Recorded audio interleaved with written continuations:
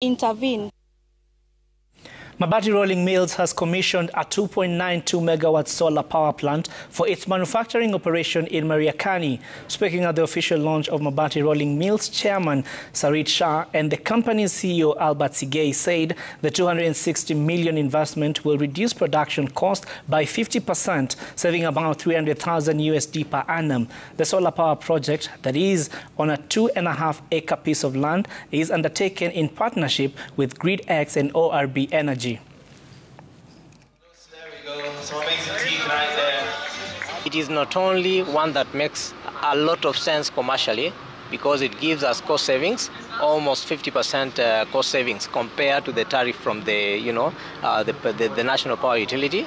But it's also something that is really key because it speaks, it speaks to one of our very important values, which we call a value of care, uh, which we really espouse and take very dearly. Care for the environment, care for the community and care for the employees. So this one is speaking directly to the care for the environment. It's going to generate millions and dollars of, of savings for Mabati rolling mills um, and I think really highlights their commitment to renewable energy and to reducing their costs and really kind of showing that they lead in industry in Kenya.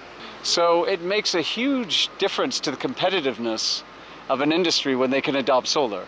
So I think that is the point number one.